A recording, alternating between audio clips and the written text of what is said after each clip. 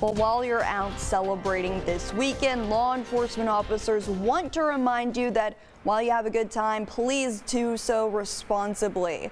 According to the Tyler Police Department, they stepped up their patrols starting this past weekend and will be on the lookout for anyone who is drinking and driving.